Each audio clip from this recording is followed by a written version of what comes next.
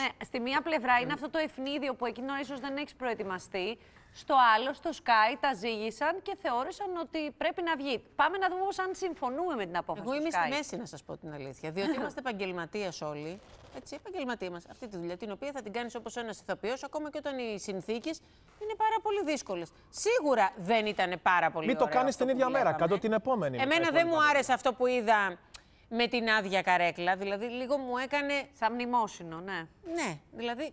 Σαν να έχει εντάξει, πεθάνει, ναι. συνέβη, Ναι. ναι, δηλαδή Ήταν σαν να στημένο συνέβη. περίεργα. Ξέρεις τι, Εγώ Ήταν αυτό. στημένο περίεργα. Πώς δεν είχαν βάλει και μια Ξέρεις τι, από τη φωτογραφία; στιγμή, εγώ θα συμφωνήσω με αυτό που λέτε, ότι από τη στιγμή που ο σταθμός για τους δικούς του λόγους, γιατί καλός Μπορεί να είχαν εμπορικά κακό. παιδιά.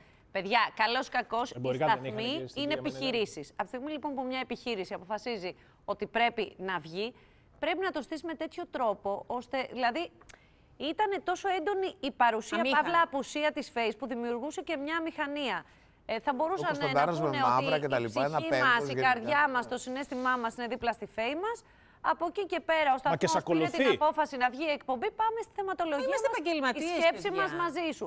Δηλαδή αυτό με την άδεια καρέκλα και το συνέστημα Το το, έντονο. μαυροφορεμένο κεντρικό. Μα σου κόβει και τι- τον αυτορμητισμό, το χαβαλέ, να κάνεις αστεία, να, Ναι, ναι, να ναι. γίνει Η- παιχνίδι. Κάνουν Παιδιά, συνήθως όπως αυτοί. και να έχει, Κάνουν. ναι. Είναι μια που μιλάει σαν τη Φέη. Γιατί δεν βάλανε αυτή να το παρουσιάσει; Τη Μαρία.